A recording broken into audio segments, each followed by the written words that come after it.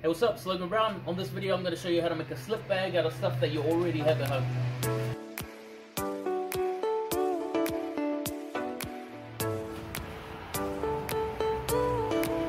Okay, so what we're going to need is two plastic bags, something to go inside the slip bag, can be rice, I made one using rocks, it can be anything really, just something that's not going to go moldy and yuck over time. Um, something to hang from, so string, I got some ribbon here, this is just stuff I can find at home tape, pair of scissors. Let's do it. Alright, so what we're to do is we're to get our filler. I'm going to chuck it into the plastic bag.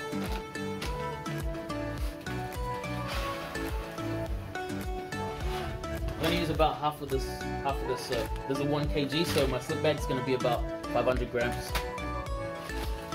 Then I'm to roll it up like this, right, so it's kind of get like a teardrop shape. I'm just to cut all that excess off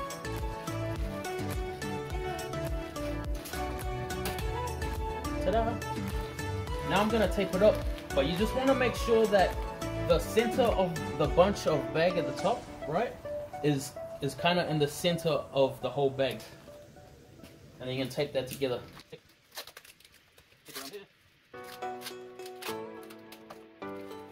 That's the first step done.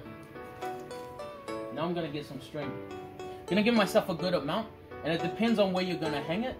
I like to hang it somewhere like pretty low so that the swings aren't so massive so that you get short fast swings. So I'm just going to tie a knot here, just a regular knot. Doesn't have to be fancy. I'm gonna put some more tape on there.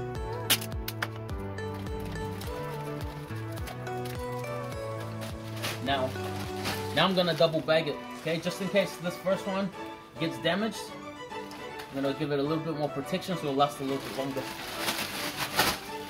So, chuck it in the bag, feel out where the top is, make a little snip here, but don't cut through because you cut the string. Pull that out,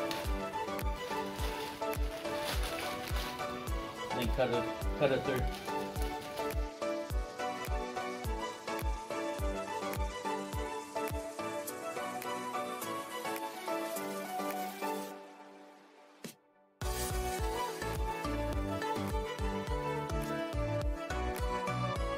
So now that that's all tight, I'm actually going to tie up all these loose ends and I'm going to bring the tape right up to the top.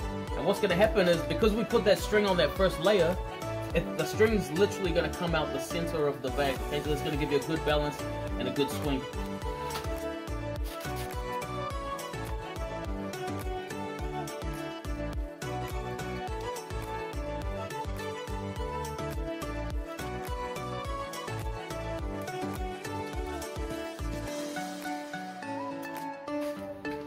Booyah! That's how easy it is.